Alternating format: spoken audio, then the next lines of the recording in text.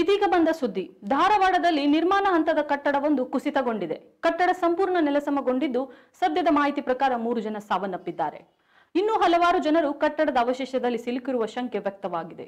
ಸ್ಥಳದಲ್ಲಿ ಸಾವಿರಾರು ಸಾರ್ವಜನಿಕರು ಜಮಾವಣೆಗೊಂಡಿದ್ದು ಆತಂಕದ ಪರಿಸ್ಥಿತಿ ನಿರ್ಮಾಣವಾಗಿದೆ.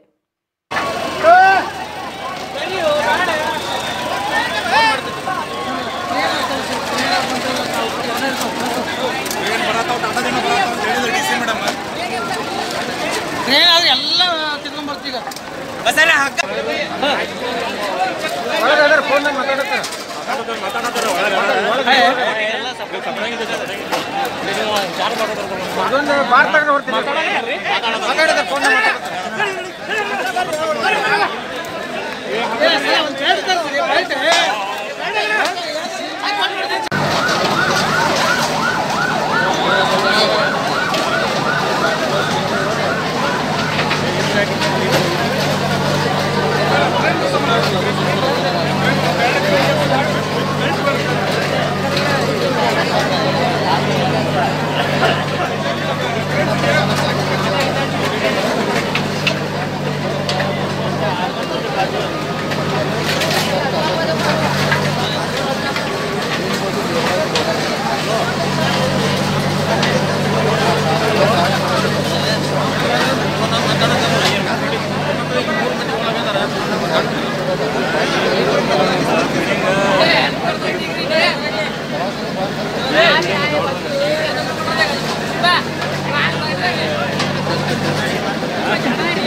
ಏ ಜಸ್ಟ್ ಬಿಟ್ಟು ಮೊಬೈಲ್ ನೋಡಿ.